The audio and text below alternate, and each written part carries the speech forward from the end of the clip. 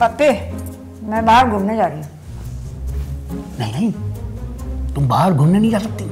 क्यों? क्यों नहीं जा सकती? अरे तुम पता नहीं। आ, आ, हाँ? आ, हम्म। पागल हो गया है क्या तू?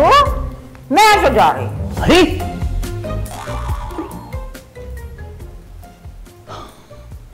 आप समझे? मैं क्या कहना चाह रहा था? शीज अंडर प्रोसेस पाँच अप्रैल को डिलीवरी है। आपके नज़दीकी सिनेमा हॉल में।